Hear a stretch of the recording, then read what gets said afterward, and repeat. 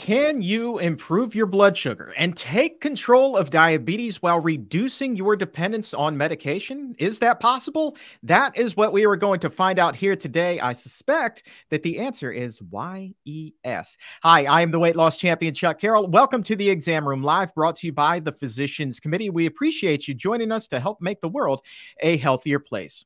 So, how is this possible? You may have had diabetes for years and you've pricked your fingers to death. You've been checking your blood sugar, you've been checking it often, and you've taken more shots than a crowd at a Jimmy Buffett concert, and you're just tired of it. Or maybe you're somebody that has pre-diabetes. You see that that's what's in your future. You don't want that either. So what can you do? Well, today we will be talking about a scientifically proven method that you have been waiting for for so long to help get your health back on track. Today is a special diabetes Q&A with Cyrus Khambatta from Mastering Diabetes. And if there's a question that you would like to ask Cyrus, go ahead, post that in the comments or in the chat. We're going to get to as many as we can here on the program here today. And as always, you can also send them to me anytime on Twitter or Instagram. I am at Chuck Carroll, WLC. So, with that, let's go ahead and welcome the man with the Mastering Diabetes Plan, Cyrus Khambatta, to the exam room live. My friend, good to see you. It's great to see you, Chuck. Thank you so much for the invitation to be here. I always enjoy talking with you. Well, I always enjoy it too. And I'm not the only one, right? Uh, the feedback that we get when you are on the show is always just amazing. We hear from so many people who say, this guy just has a way of breaking down this complicated science and putting it in terms that we can all understand and really gives us this hope that we can bring everything under control when it comes to our health, man. So you're a fan favorite. So really, you're doing all of us a favor by being here today. Awesome. I, am actually really glad to hear that because um, when I was in graduate school, I was given the opportunity to teach graduate students, or sorry, to, to teach undergraduate students. And there's just some tough concept, you know, concepts here in the world of biochemistry and molecular and cellular biology. So I'm sitting here trying to go through all this coursework, and I'm like, how do I explain this stuff?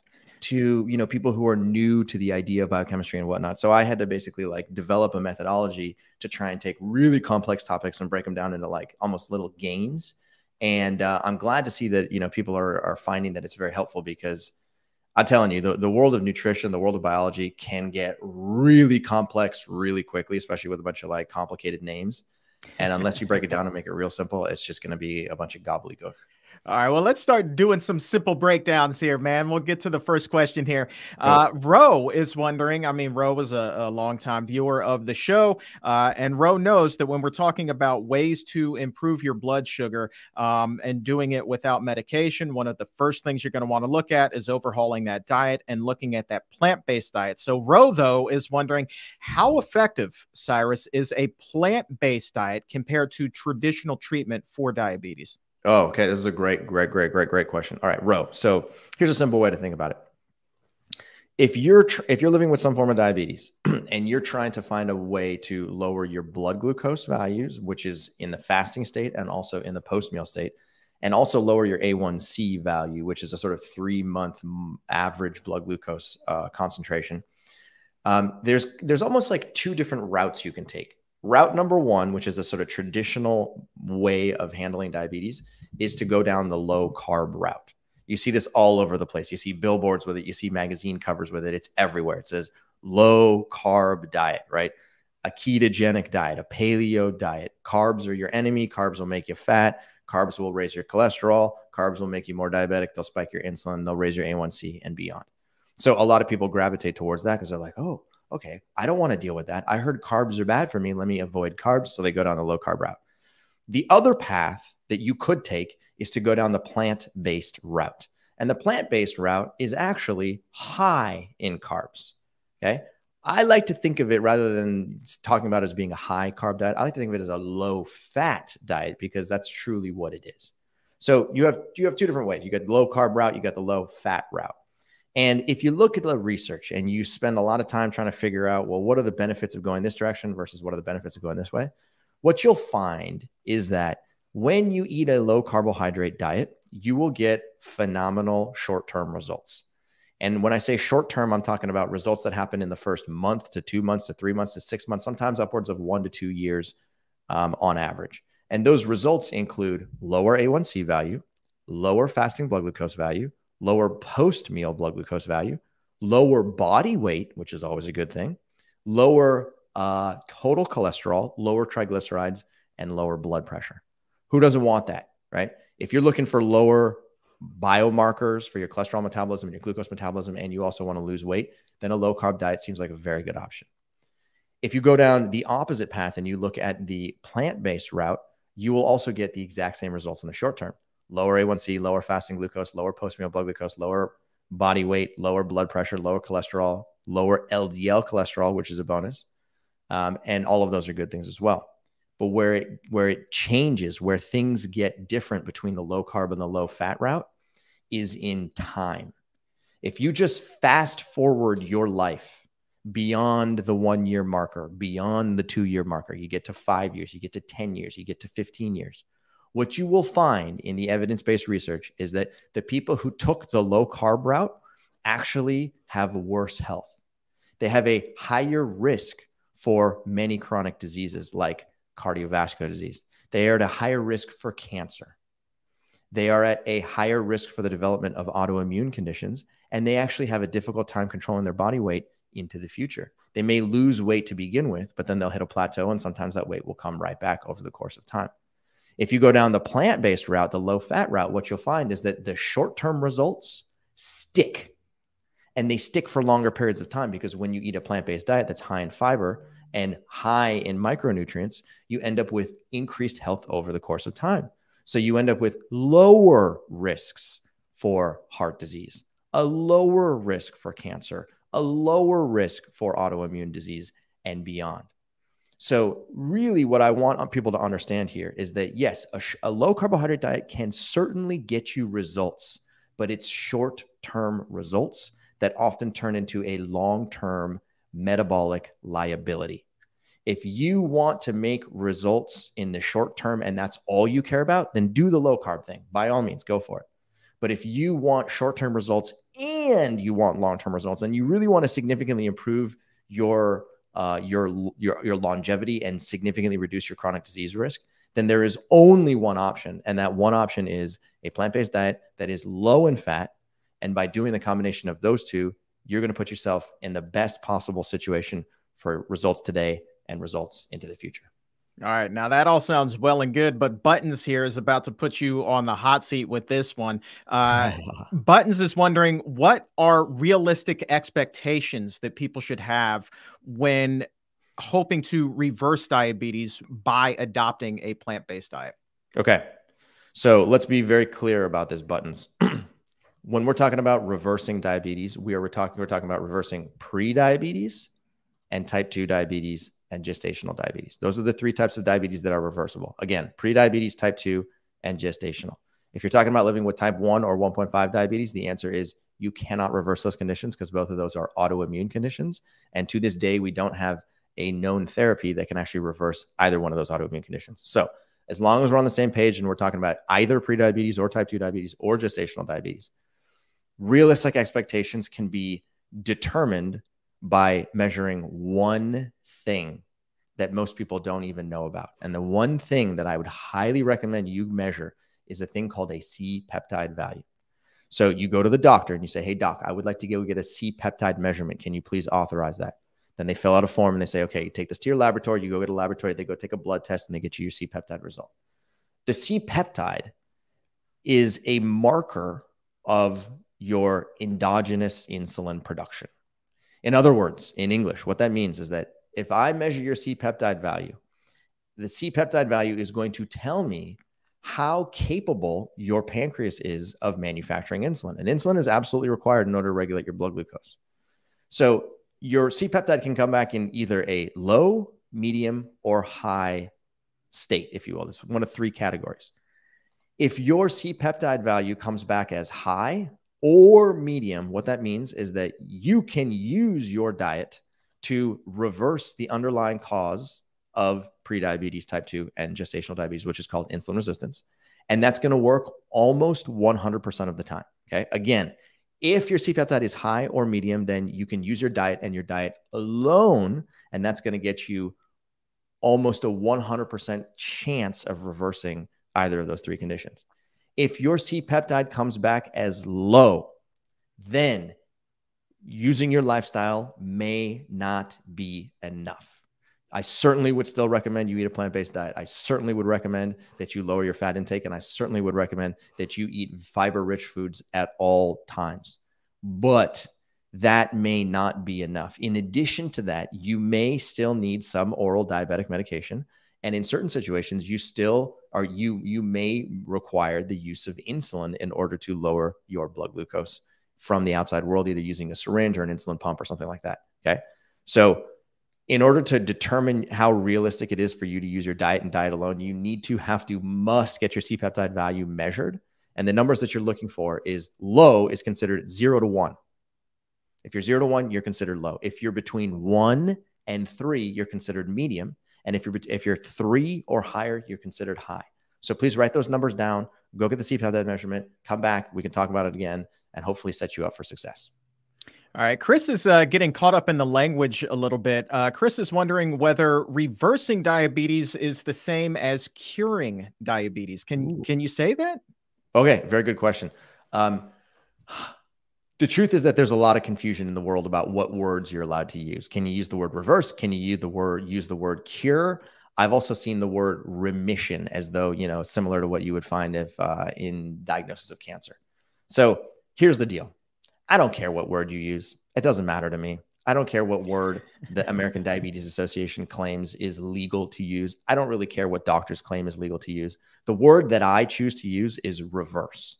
And the reason I use I choose the word reverse is because from a biological perspective, if you look at the actual biochemistry of the development of insulin resistance, insulin resistance is a combination of biochemical pathways that you can initiate using primarily your food.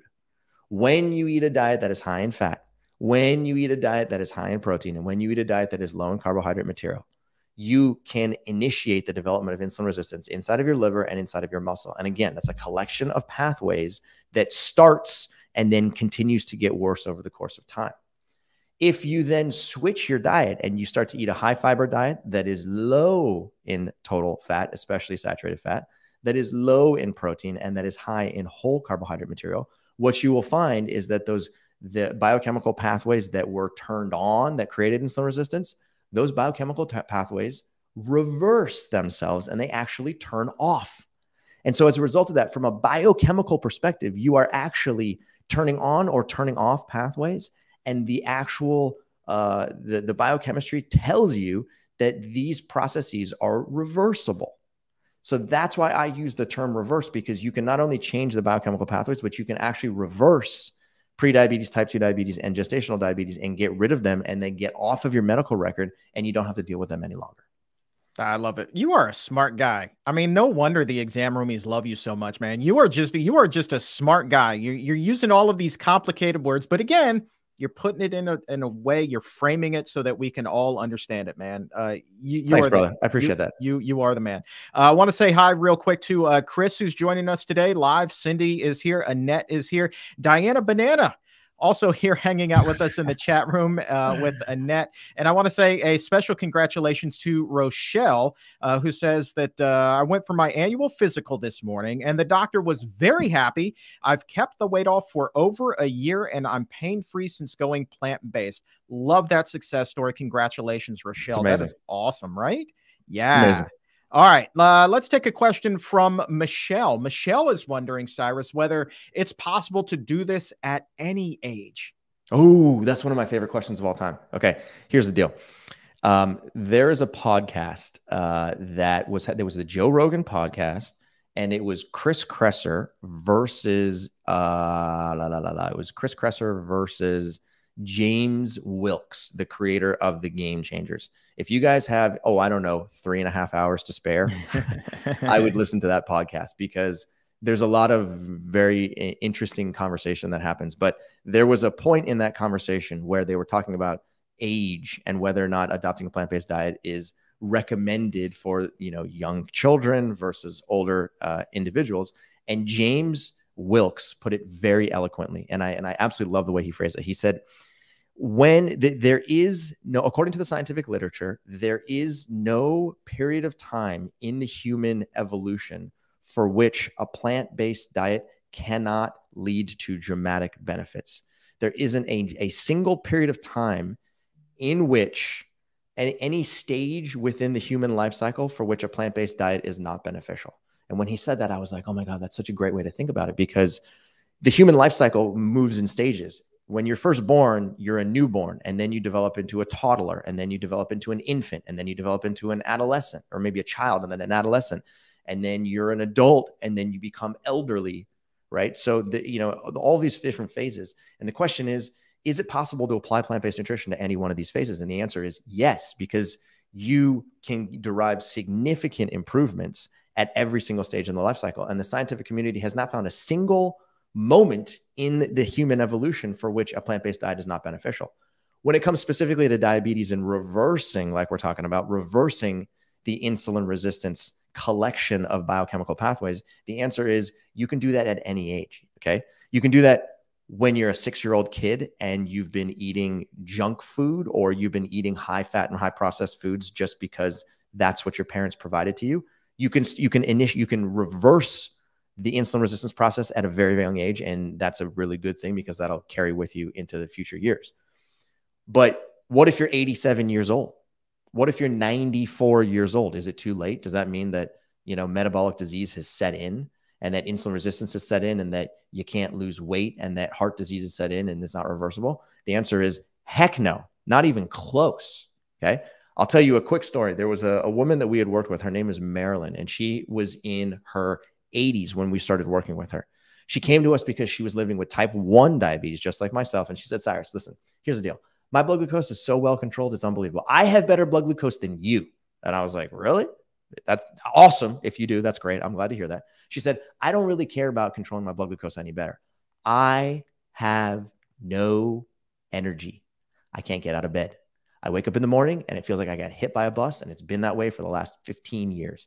I am looking for a way to eat that is going to, number one, continue to help me improve my blood glucose. But number two, I need energy in order to live my life to its fullest. And I was like, all right, well, let's see what we can do. So we started teaching her how to adopt a plant based diet and we started dropping her, her fat intake. Now, her blood glucose actually stayed rock solid stable, which is in a person with type 1 diabetes to make that drastic of a transition and keep your blood glucose stable is a big deal. So her blood glucose stayed nice and stable. Her insulin use did not change at all. And that's both of those are very good things. But then over the course of time, three months into that, she was like, Yeah, I think I'm getting a little bit of energy. Six months into it, she's like, Okay, I'm feeling a little bit better. She can get up. She can start walking around her house. She can start doing other things. By the time she hit the one and a half year marker, Marilyn had written back to me and said, Cyrus, I want you to understand something. Not only did I was I able to get out of bed and walk around my house and go to the kitchen and do normal things, you know, within my house, but I started to feel so good eating this way that I started leaving my house. I started going to the grocery store. I started buying groceries. I started carrying two bags of groceries all the way back from the grocery store. Then I started getting on my bicycle and riding my bicycle around town. And now I don't even know what to do with all this energy. I haven't felt this way in 15 plus years. And all of it is due to the way that you told me to eat. This is amazing. It works. And there's no question that this is what I'm going to do for the rest of my life. And I was like, I, I heard that story and I started to cry because here she was in her 80s thinking like oh i'm beyond repair there's no way i can fix this but that was just a, a, figment of her imagination and she's just one of many other people that have gone through that same process at an advanced age bro that is a game changer of a story right there that is a game changer never too late man i love love love love hearing stories like that that's incredible man completely got her life back just yeah, incredible. I mean, I mean, just think about it. Like, imagine living a life where you literally could not get out of bed. You are lying in bed all day long because you just don't have the energy to literally put your feet on the ground. Like, what kind of a quality of life is that?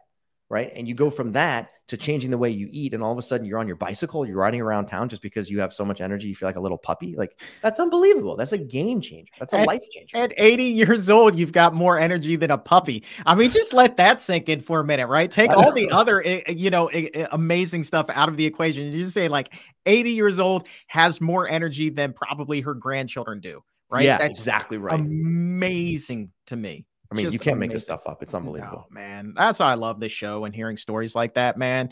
It just, oh man, it just tickles the old uh, heartstrings, doesn't it? Um, all right. Yeah. Uh, you ever been to uh to Rome? You ever been to Rome, Italy, Cyrus? Rome is one of my favorite cities of all time. Absolutely. Why? Because we, we have uh Cynthia right now checking in from uh, Rome, Italy. I thought that that was, that was pretty neat. Yeah, I love it. I got to get there someday. Uh, let's go though to uh, Korea. Take a question from Rubber Band Man. Uh, Rubber Band Man says, "I'm not diabetic, but my glucose was a bit high when I got some testing done recently. But I was told I could not eat my sticky short grain rice, but I can't stop eating it because it's a food staple for me. I've started to mix some brown rice into it. I've got about a 70 30 white to brown rice ratio in there. What are your thoughts, Cyrus, when it comes to white rice? Okay, this is this is a great question because I was doing a little deep dive with my wife the other day because um, we would go to a restaurant and we would eat some rice, and then I would check my blood glucose in the middle of the night, and my blood glucose was a little high, and I was like, oh, okay, like really, rice was the only variable. I guess it's the I guess it's the white rice that that didn't work for me. Then we went to a friend's house and had some white rice inside of a meal, and I ate that and I went to sleep and I woke up in the middle of the night, blood glucose rock solid. Woke up the next morning, blood glucose rock solid. And I was like, that doesn't make sense. I had white rice on two separate occasions, and sometimes it's high and sometimes it's low. And then I started doing a deeper dive and I was like, ah, all white rice is not created equal. There's different types of white rice. Sometimes you get the sticky white rice. You know, sometimes there's like the Japanese sticky white rice, and then sometimes you get the jasmine white rice. Sometimes there's a basmati white rice, right? And so, what I have learned is that all white rices do not treat your blood glucose the same. Okay. For me, the stickier the rice, the higher my blood glucose goes, which is why now I, if I do eat rice, which I eat on a weekly basis, I gravitate towards the jasmine white rice or the basmati rice. The, both of those, I can eat boatloads of that stuff and my blood glucose is rock solid. But if I eat the sticky white rice, all of a sudden my blood glucose goes through the roof. So, what I would recommend for you to do is just two things. Number one, don't avoid rice. Okay. There's this common concept that like rice is bad, rice is full of carbs, rice is going to make me fat, rice is going to make me more diabetic. It is not a true statement. Number one, if you want to eat rice, you have a green light to eat rice. Number two, do some experimentation on your own to try and figure out if there's a specific color, shape, size of grain that gets you good results. If so, repeat that. And if you eat a specific type of rice and it causes your blood glucose to do weird things, then maybe you want to shy away from that. The last thing I'll say is that my favorite kind of rice is black rice. I don't know if you guys have ever eaten black rice before, but eh, we traveled over to Indonesia a couple years ago and they serve black rice all over the place. And that stuff is incredibly good. Okay. Not only is it good flavor, but it keeps my blood glucose stable. And most importantly, the reason why it's black is because it's got a very high mineral and nutrient content. And the specific types of minerals and nutrients in them um, some of them are antioxidants. Some of them are phytochemicals, which tend to be very disease fighting chemicals or compounds that you get from the plant world only. So if you can get your hands on some black rice, that would be my recommendation because generally speaking, the darker the color in any given fruit or vegetable, the more pigment it has, the more antioxidants it has, and the better it is for you. Black rice, huh? I wonder if that's just got like extra fiber in it too because it's so dark right? It's not white rice certainly where the fiber content may be a little bit less. Brown rice it's even darker than that. So is it like black rice could just be this magical rice right? I mean maybe that's what it should just be called i don't Magic know rice there's also actually there's a red rice as well and i i don't have as much experience with red rice but um the, yeah, a, a, lot of it. I don't know about the fiber. That's a really good question. I want to go do a little learning on that one. Yeah, don't take that one as the gospel. I'm purely speculating here. Please sure. don't say, "Well, Chuck said this and it must be so." No, I'm just speculating here. Uh, all right. Uh, how much do you uh, deal with uh, hypoglycemia? Do you deal with that at all? Yeah, hypoglycemia is definitely a real thing. So hypoglycemia refers to low blood glucose. All right. And if you're dealing with American units, what that means is that if your blood glucose falls beneath 70 milligrams per deciliter, that means technically speaking, you're in the low blood glucose territory. It's not a fun place to be. All right, let's see if we can get Leanna's creations here a little bit of help. Uh, was born with severe hypoglycemia, and to this day, it does not take much for my blood sugar to drop too low. She sent this at 1058. How do I do a fast and still not get the shakes? Is this okay. possible? All right, so when you, I think she said, I was born with hypoglycemia. Is that born, with, born with severe, severe hypoglycemia? hypoglycemia. Yeah. okay. So, first things first, let's talk about what causes hypoglycemia. Hypoglycemia is basically caused by the excess production of insulin. So, the when insulin is present in your blood, insulin knocks on the door of your liver and knocks on the door of your muscle. It goes, Hey, liver, muscle, there's glucose in the blood. Do you want to take it up? And under normal circumstances, when your liver and muscle can respond to insulin and they're very, you know, alert and they're able to recognize insulin at the cellular level, they go, okay, cool. Sounds like a plan. And they open their doors and they allow glucose to come in. And that's a good thing because it lowers glucose in your blood and it allows glucose to enter your liver and muscle exactly where it's supposed to be. Okay.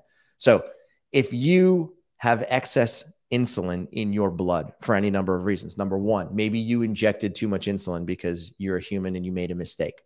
Number two, your pancreas might over secrete insulin because your pancreas, uh, you know, or, sorry, let me just say your pancreas may over secrete insulin due to a number of reasons. But if that's the case and the concentration of insulin in your blood is a little too high, then what it'll do is it'll say, hey, knock, knock glucose. I'm sorry, knock, knock liver, knock, knock muscle. Do you want to take the glucose up from the blood? And both of them will say, sounds like a plan. And they'll pull in glucose and they'll continue to pull in glucose and they'll continue to pull in glucose and they'll continue to pull in glucose. And at a certain point, the glucose level in your blood drops so low that all of a sudden your brain goes, alarm bells, alarm bells, alarm bells.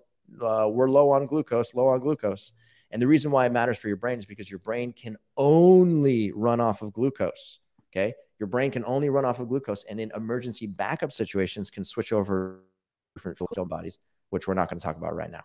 But it's an integrated mechanism that starts in your pancreas and involves your liver and your muscle and your brain. It's all in one. So here's the deal. If you are eating a diet that causes hypoglycemia, generally speaking, the types of foods that cause hypoglycemia is called reactive hypoglycemia, usually about one to two hours after a meal, are the foods that are in uh, that contain refined carbohydrates, cookies, crackers, chips, pastas, breads, sodas, sugar sweetened vegetables, pastries, sugar sweetened vegetables, sugar sweetened beverages. hey man, those exist too. You ever looked at a can of corn? I mean, it's not just corn, man. They will put like corn syrup in with the corn. I'm dead serious, man. You're totally it is, right. It is scary what's what's in a lot of that stuff. Okay, so sugar sweetened beverages and sugar sweetened vegetables. right. It's those refined sources of carbohydrates that end up causing your pancreas to oversecrete insulin and then that drives your blood glucose too low over the course of the next few hours okay? So if you're eating a refined diet then you can end up with this hypoglycemic effect and it can happen a lot okay? Now if you're born with a uh, tendency for hypoglycemia which definitely happens to some people what that means generally is that number one either your pancreas is oversecreting insulin and the beta cells are just too functional or number two some people actually have a pancreatic tumor which can increase their insulin production. And that definitely has to be examined and diagnosed by a medical professional. Okay. So here's the question. Well, what can you do about it? Right. Uh, I believe the, the, the the lady that was asking the question was, "Can I fast? And how do I fast without my blood glucose going too low?" And my answer to you is, if you uh, have a physiological, uh, physiologically are producing too much insulin and it's driving you low, I would not fast. I definitely would not fast because you're putting yourself in a dangerous situation whereby you're cutting yourself off from nutrients from the outside world. And if you're already ha- uh, have a tendency to go low, then you're going to go low and it's going to be very uncomfortable and it's not going to work for you. So, what I would recommend instead is eat a fiber rich plant based diet. And eating a fiber rich plant based diet actually can help you lose weight over the course of time and keep that weight off. And so I'm making the assumption that you want to do an intermittent fast so that you can lose weight. And if, if that's not the right assumption, then forgive me. But um, rather than intermittent fasting in that particular situation, I would just eat a low fat, plant based whole food diet and watch the weight come off over the course of time. Time is your friend, use it to your advantage. There you go, man. I love also what you said there about what works for you. I think that that's a key in a lot of situations where somebody's trying to improve their health, right? They they see that something has worked for one person and thus it must work for them. But, you know, the fact is you have to find at least in my experience what works for you and that's the key to long-term success. And you talk Absolutely. about eating a low-fat plant-based diet we're talking about finding what works for you. I mean, that's just that's the foundation right there. But you can build a a really tailored low fat plant based diet to your palate that you enjoy.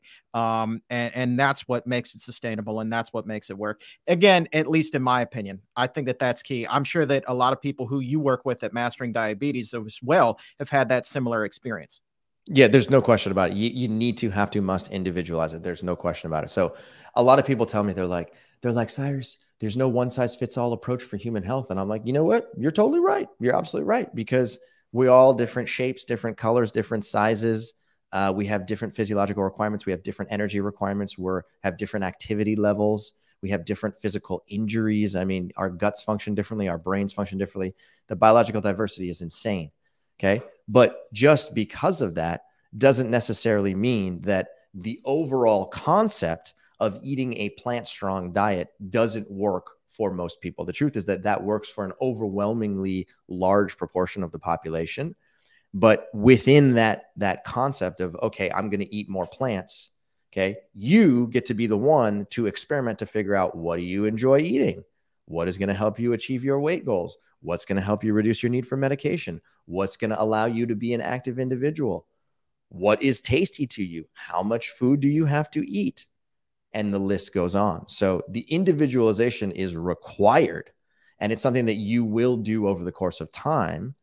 And that's okay. There's nothing wrong with that. But our suggestion, Chuck's suggestion, my suggestion, Dr. Barnard's suggestion is all the same, which is eat a lot of plants. Period. End of story. Just eat a whole bunch of plants, and most of your, you know, metabolic complications will disappear over the course of time. Keep it simple. Eat a lot of plants. That's 100%. it. Uh, all right, let's uh, head out to the Bay Area. That's where Yvonne is. She sent this one in at 11:57. I actually hope to get out there and do a live show out in California here in the next few months. So stay tuned for details on that. But Yvonne's question, uh, in your opinion, what is the optimal time, Cyrus, to mm-hmm. test glucose upon awakening with mm-hmm. the dawn effect? Is this reading valid or is it just inflated? Okay. Uh, so let's back up here. Let's talk about the dawn phenomenon. So the dawn phenomenon is basically a phenomenon that happens in all people, regardless of whether you're living with diabetes or not. And it's it's a way for your uh, your adrenal gland to effectively raise your blood glucose first thing in the morning um, to get your brain ready for activity. That's pretty much the, the main effect of it. Okay. So uh, picture this you're sleeping in your bed. It's four o'clock in the morning. It's five o'clock in the morning.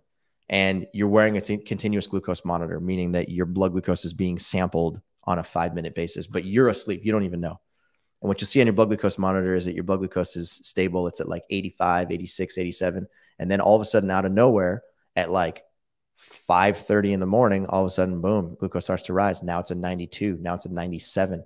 Now it's 103. Now it's 111. And you're like, I'm not doing anything. I'm literally just sleeping, right? Okay. There's a lot of things happening in the background. Your adrenal, your adrenal glands basically being like, hey, it's time to wake up. So it starts to secrete just a little bit of adrenaline, a little bit of cortisol. That goes to your liver, knocks on the door of your liver, and your liver's like, hey, I got some glucose, and it puts glucose into the blood. The blood then circulates. It goes up to your brain. It says, hey, brain, we're about to wake up. Are you ready? And so the brain all of a sudden is like, okay, cool. Now I see there's more glucose, there's more fuel, and it prepares both your physical, you know, your musculoskeletal system and your brain for being awake. Okay. Totally normal physiology completely conserved across all of the mammalian world. Cats do it, dogs do it, monkeys do it, raccoons do it, mice do it, rats do it. It's totally normal. But the question is, is that good for me or is that not good for me? And the answer is it's totally normal. It's it's it's required. And people with diabetes end up actually being able to measure that because they're checking their blood glucose every single day and they can see the effects of that. Okay. So the dawn phenomenon, don't be afraid of it. But what I do want you to understand is that if you wake up in the morning and your blood glucose is already elevated because of the dawn phenomenon, don't freak out. It's totally fine. You can actually control the severity of the dawn phenomenon with the food that you're putting in your mouth. Okay. Let me explain this one. When you eat a low carbohydrate diet, what we have found empirically, meaning what we have found by working with a lot of people over the course of time, is that the people who eat the low carbohydrate uh, low carbohydrate foods, which are meats and cheeses and dairy products and and uh, meats, cheese, dairy products, um, eggs, processed meats, fish. those people are the ones who have the strongest dawn phenomenon. So they keep their carbohydrate intake nice and low and they're eating a lot of animal based foods. And then in the morning, all of a sudden they're like, oh my God, my glucose just goes really high really quickly. And then we take people and we switch them over to eating a plant based diet. And by eating a plant based diet, what they find is that their blood glucose is nice and controllable all throughout the day. And then in the morning, when they wake up, all of a sudden the dawn phenomenon is still there, but it's just a little bit less strong, right? So instead of their blood glucose going up by 30, 40 points, now their blood glucose only goes up by 10. And all of a sudden they're like, oh my gosh, the strength of this dawn phenomenon has decreased significantly, which is a good thing. And then it enables their fasting blood glucose to come down. And then their blood glucose throughout the rest of the day is actually more manageable. Okay. So my recommendation to you is number one, if your blood glucose is going up a little bit in the first thing in the morning, don't worry about it. It's totally fine. Number two, you need to have to must eat a plant strong diet and keep your fat intake below 30 grams per day. Okay. That is a requirement if you're living with diabetes in my book. If you can do that and you can keep yourself consistent on that regimen, seven days, 21 days, 30 days, 60 days, 90 days, watch, just watch. The dawn phenomenon will become less strong and your fasting blood glucose will drop and you'll wake up in the morning and be like, oh, finally, I don't have to deal with this thing anymore. That makes my life a lot easier. And my question is, how many times can you say dawn phenomenon in a row without getting tongue tied? Can you say it five times fast? Go. I'm uh, probably not, to be perfectly honest with you. Uh, let's go uh, one country to the north, uh, up in Canada. Sylvie's checking in from Quebec. Hi, Sylvie. Thanks for being here. Uh, we also have some people checking in today from Vancouver, British Columbia. I love that. Janice is up in Vancouver. Love that area. Uh, Victoria, BC, rather. but I do love BC. Canada treated me so nicely when I was up there last year. Um, let's take a question, though, from Chris. I'm sure that this is another popular one that you get, Cyrus about pasta. This one came in at 1232. Can somebody with diabetes eat pasta? Talking about whole grain, of course, and is regular pasta though a complete no-no? Okay, great question. Great question. In general, um, I would say pasta that you that's made from wheat sources. It's actually made from the stuff called durum wheat. Okay. Um, usually is uh, relatively problematic. We put it in the, we have a classification. We got green light foods, we got yellow light foods, and we got red light foods. Pasta's in the yellow light category. Is it going to kill you? No. Is it is it bad for you? No. Is it going to potentially elevate your blood glucose and maybe cause you frustration? Yes. Okay. That's why it's in the yellow light category. Okay.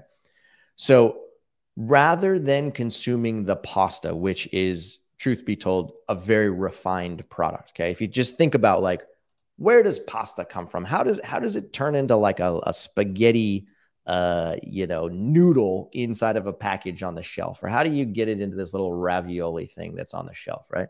What you had to do is you had to harvest the wheat, then you had to take the wheat, you had to uh, you had to mill it, you had to grind it down, you then had to uh, reconstitute it, add it with other ingredients, turn it into a dough. Then you take the dough and then you put it through an extruder, you turn it into a certain shape. You you then have to cook it and then from that point onwards, you can eat it. That's the only way that it's really edible. Okay. So there were a lot of steps required in order for you to get it to your mouth. Every time something happens to it, whether it's grinded or milled or dehydrated or reconstituted, it's losing nutrients, it's losing micronutrients. By the time it gets to your plate, it doesn't really have much of a nutritional value anymore. Okay. So as a result of that, it ends up being a relatively refined product. And the, the refined aspect of the product is what causes your blood glucose to do weird things. Okay. So if you're looking for something that's actually a, a more healthful alternative, what I would steer you towards is go to the grocery store and next to the wheat pasta, you will find the pasta that comes from other things that are not wheat, such as number one, edamame, number two, black beans, number three, chickpeas, number four, brown rice, uh, Number five, I'm sure I'm missing a couple others. But if you can get yourself a bean pasta or a, uh, sometimes they even have like sweet potato pasta, something like that, that comes from an actual vegetable rather than a refined grain, you're going to likely find that it controls your blood glucose more. Number two, it's more nutrient dense, which is always a good thing. And number three, it treats your blood glucose better. That's my recommendation. Go for that. Try it and, re- and report back and let me know how it works out for you. I've been on a red lentil pasta kick recently and uh, have absolutely been loving that. I find that the flavor of that is just magnificent, especially when you put some steamed or some roasted vegetables on top of that. Don't even need pasta sauce, really. You can just do the vegetables and the pasta with that. And then, yeah, is there a particular brand of red lentil pasta that you consume? Because I don't even know. I'm I mean I can I'll I'll shoot you a text after the show. I'm not okay. giving any shout outs here. Uh okay. you know, you know how that works. Uh Yeah, I got you. I got you. But yes, I like I like where you're coming from. Yeah, yeah. lentil pasta is is phenomenal stuff. It's very tasty. Uh all right. Uh hint though, the brand name starts with a B. The hint is it starts with a B. Uh, Stephen Page at 1240. All right, here's a good one. Uh, talk about uh, what have you done for me lately and how quickly can this work? 90 days into the whole food plant based life, my fasting sugars are hanging in the 115 to 125 range. What when can I expect to see that go down? Says I was at 247 120 days ago, so it's already come way down. He says maybe I'm just impatient. So is time something that you really need to just kind of have that patience with or is this something like boom i want it i want it overnight and that's the way it should be? Okay so here we go. 90 days in let's think about this okay? Three months in. Fasting blood glucose used to be 247 can we put that back on the screen if you don't mind? There we go thank you. It used to be about 247 and now it is in the 115 to 125 range. So just think about the numbers here. Like that's a that's a bonkers big blood glucose reduction in a good way. Okay. Call it 250, you're down to 125. So that's a 125 point reduction in 90 days. Steven, very good work. My hat, my, my, uh, if I was in front of you, I'd give you a giant hug and a giant high five. Okay. You're doing a, lot of good stuff. Um, as far as, you know, is Steven impatient? Should Steven just relax a little bit more? Um, I would say two things, Steven. Okay. Three things, four things, actually. Number one, the, the way that we describe the mastering diabetes method is that it's founded upon plant-based nutrition. So the core of the method is about eating a plant-based diet that is low in fat. Okay. When I say low in fat, I do mean low in fat. And by, by that, I mean for your average individual, we're looking at less than 30 grams of total fat per day, every single day for the rest of your life. Okay. And I know that may sound ridiculous, but that is a true statement. And then you will be, you, you will set yourself up for uh, success if you can follow that regimen. Okay. So, my first question to you, Stephen, is Are you 100% confident, 100% confident that you are eating less than 30 grams of fat every single day with no deviations? Okay. That's question number one. In order to answer that question, you can use Cronometer, MyFitnessPal, and put all your food in there, and it'll literally tell you how many grams of fat you're eating per day. So, do that. Number two, the second part of the mastering diabetes method is to move your body we recommend moving your body between 30 and 60 minutes per day. And the, the benefits for that, I mean, we could do an entire uh, discussion about why exercise. And the answer is because exercise is awesome for your brain. It's phenomenal for your liver. It's phenomenal for your kidneys. It's really good for your vasculature. It's good for your heart. It's good for your lungs. It's good for your muscle tissue. It's good for everything you could possibly think of. But it's also good for your glucose metabolism. Your pancreas loves to exercise. So if you're not exercising on a daily basis between 30 and 60 minutes, I would incorporate that, and that could probably have a pretty pr- pr- uh, dramatic effect. Number three, intermittent fasting. Intermittent fasting is something that we recommend for not necessarily every individual, but for people to incorporate if they are still trying to lower their blood glucose and especially if they're trying to lose weight. Intermittent fasting is a phenomenally effective technique. And I did my entire PhD on understanding the effects of calorie restriction and intermittent fasting. And I was blown away by the results from studies in human beings. So if you're not doing an intermittent fast at least on a weekly basis, or if you're not doing like a 16 8 fast on a daily basis, I would recommend moving in that direction. And the combination of low fat plus exercise plus an intermittent fast uh, or intermittent fasting is going to dramatically reduce your blood glucose even more. The last thing I'll say is, are you impatient? Heck no. Okay. You're not impatient because you're human and you want good results. But also remember that pre-diabetes and type 2 diabetes took not just a couple of months to set in or a year to set in or five years to set in. It took your whole life. Okay. So I don't know how old you are, Stephen, but I'm just going to make a guess here that you're somewhere around 45 years old. Okay chances are by the time you started manifesting symptoms of prediabetes and, di- and type 2 diabetes, you have actually been living with insulin resistance for like 15 to 20 to 30 years, but you didn't show any symptoms of it because your body is a mastermind at masking symptoms. So if it took that long to develop, then you got to recognize that it's going to take some time to reverse. You're already doing a really good job. Keep it up, add those other components in, and watch as your glucose comes down. And trust me, you got this. Uh, you can do this, and I know you can. Absolutely, uh, man. I'm I'm so happy for for him, man. I I just I think that that that is such sweet success right there. I mean, that is that is fantastic. I love hearing things like that. And uh, we'll grab a couple of more quick ones here before we wrap up. But I also want to say uh, hi to uh, Barbara, who's watching today in Ecuador. I'm loving this global effect. Hogan is in Indonesia. Uh, Jakes is in uh, Johannesburg, South Africa. Hello, uh, good to see you there. Tell my friend uh, Charles Jelleman that I say hi. Uh, yeah. All right, uh, and uh, yeah, uh, let's see here. A couple of more quick ones. Uh, we've been talking a lot about fat here today on the show. Conrad at 1219 wants to know uh, how much fat in a day is enough and how much is too much. So, what is the sweet spot when it comes to fat? Okay, the sweet spot very simple between 20 and 30 grams of fat per day, period, end of story. Total fat per day. Okay. Okay. So, again, use MyFitnessPal or use Cronometer and literally just log all the food that you're eating on a daily basis. It's on your phone. Just there's very simple. You can literally like take photos of things. It's it's mindless. Um, just log all the food you're eating per day. If you're eating somewhere between 20 and 30 grams of fat per day, number one, you're getting enough. Number two, you're not going to be deficient by any stretch of imagination. And number three, you're not getting too much. It is the sweet spot. So if you can aim for that, your glucose will come down. It'll be nice and controlled. And just watch, just watch what happens to your glucose when you lower your fat intake. It's bonkers. Let's circle back to the rice. Uh, that was a hot topic there in the chat. Stephen is wondering whether the black rice you were talking about is the same as wild rice, which can also be quite dark. Okay. Uh, great question. So, wild rice, to the best of my knowledge, has multiple different colors of grains in it. And I think there are black grains inside of the wild rice, but usually wild rice has like some brown and some lighter colors and some darker colors. And it's a combination black rice. I saw another comment that uh, somebody else had left. Black rice equals forbidden rice. That's what I was referring to when I talked about black rice earlier. So, um, if you can get your hands on some forbidden rice, by all means, go for it. But Stephen, to answer your question, wild rice, if you're eating it, go for it. It's fantastic. Okay. Again, the darker the rice, the more antioxidant rich it is, the better it's going to be for uh, your brain, your liver, and your kidneys simultaneously. That sounds so exotic. Forbidden rice. I know.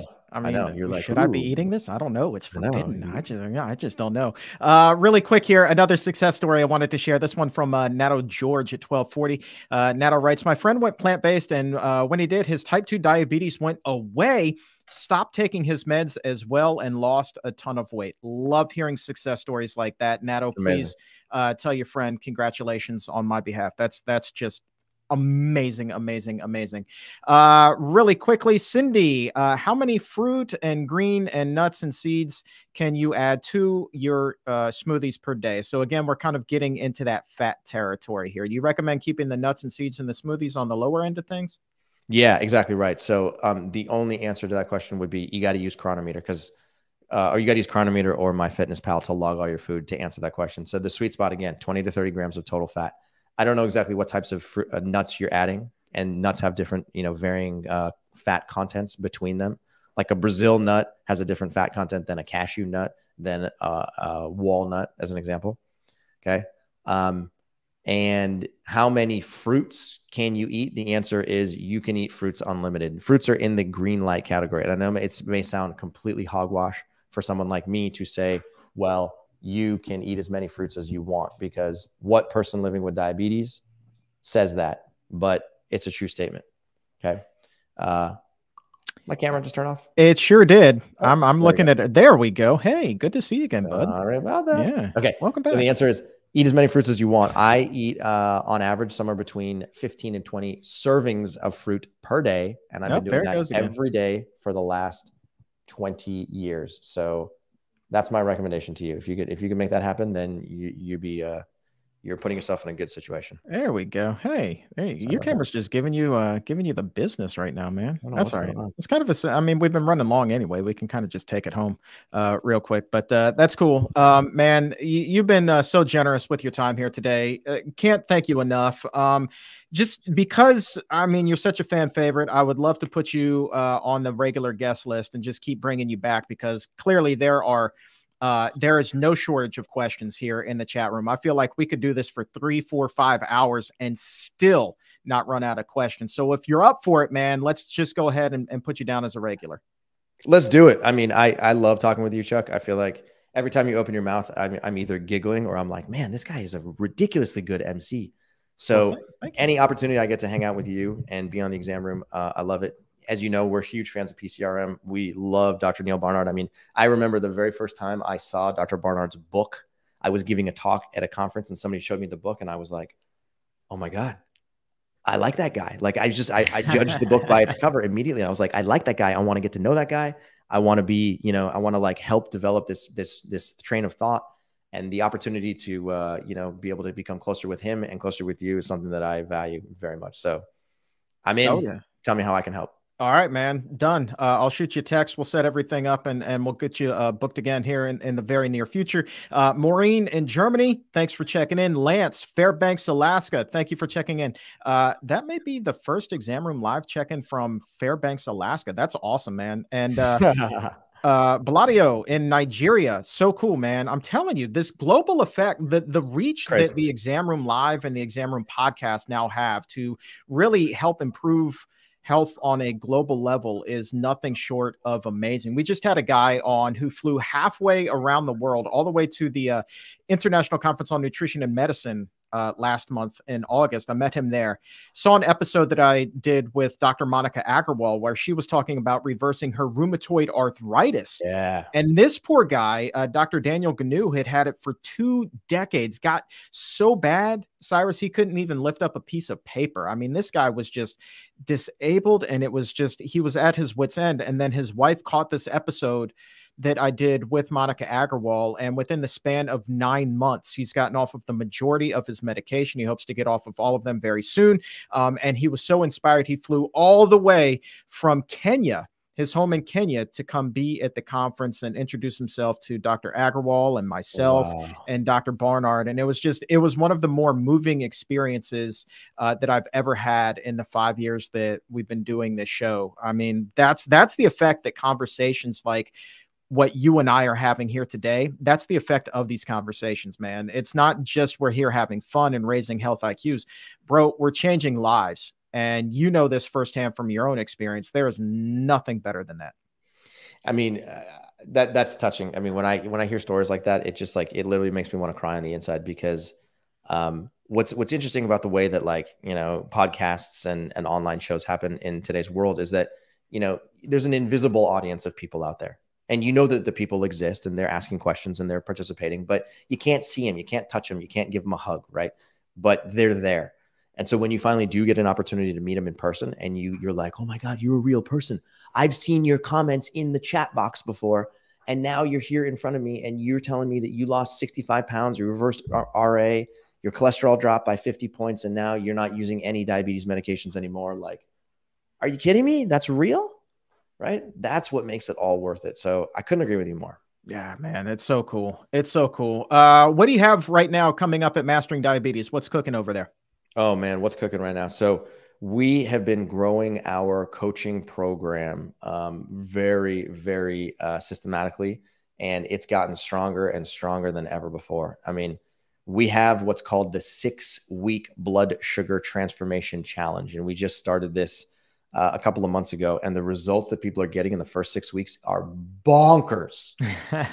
um, maybe on a separate show, I can show, show some testimonials of people just posting every single day saying, I'm losing weight. My blood glucose has come down by 40 points. I got off of metformin. Um, you know, I have more energy than I've ever had before. You know, the average weight loss within the first six weeks of the program is somewhere between 13 and 16 pounds. And um, people are, their blood glucose is dropping by between 30 and 50 points. So um, if anybody's interested in participating in that, you just go to masteringdiabetes.org slash start. So masteringdiabetes.org slash S-T-A-R-T. Just go there, You can sign up to talk with a real human being. We're going to learn from you. We're going to see if you're a good fit for the coaching program. And if you are, come on inside and we can help you change your life from the inside out. Love that, man. And you can also click that link right now. We've got it for you in the uh, show description there. So uh, one one click and, and you're off and running. Uh, that's fantastic. Thank you, uh, Cyrus, brother, man. Thank you so very much for being here today. Can't wait to have you back on the show, answer some more questions, and sprinkle a little more hope around the world, man. You you you have a, a way of doing just that, man. So thank you for being here, bro. Thank you, my man. I totally appreciate it, Chuck. We'll uh, we'll talk soon.